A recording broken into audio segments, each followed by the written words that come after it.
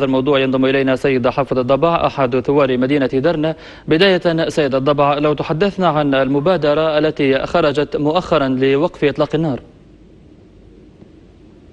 السلام عليكم ورحمة الله وبركاته.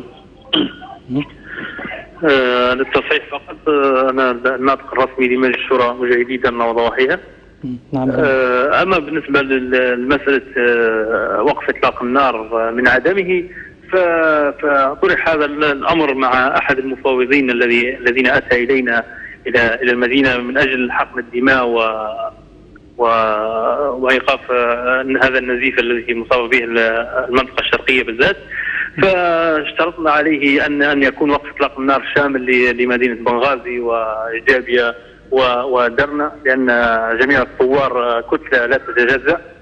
وكذلك إطلاق السجناء المخطوفين من مدينة درنا وكذلك فتح الطرقات عن المحاصرة لمدينة درنا وكذلك طالبنا بمساءلة الطيارين الذين قصفوا الأطفال في المدينة ومن أمر بذلك هو أن من من من يسمى بالقائد العام هذا هذا لا يمثل أي جهة إنما هو قائد ميليشيا وقائد عصابات آه، في المنطقة الشرقيه فبالنسبة لنا في التفاوض من هذا من هذا الباب فطلب منا ان ان أن نوقف إطلاق النار النار اولا ثم بعد ذلك ننتقل إلى النقاط الأخرى.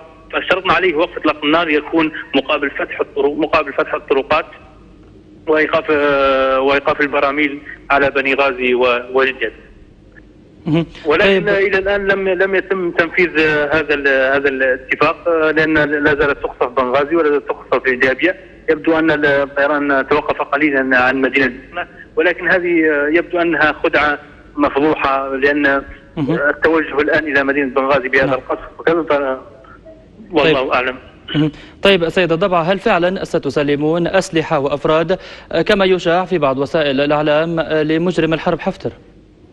والله هذه لا تتعدى أكاذيب وأقاويل يعني يعني ما أقول هناك ثوار في في مرحلة ما زالت الثورة لم تكتمل بعد ولمن يسلمونها لهؤلاء الميليشيات هؤلاء العصابات آه، في في منطقة مارا ولا منطقة آه، قبه ولا منطقة هذه عصابات هذه ميليشيات قائدها مجرم حرب اللي هو حفتر هذا المجرم هذا هذا أمر منطقي ولا ولا وغير مستساغ ولا ولا يصار أصلا لأن نعم. لأن إثارته من من يعني من الأمور المقززة بصراحة باش نكون صادق معك.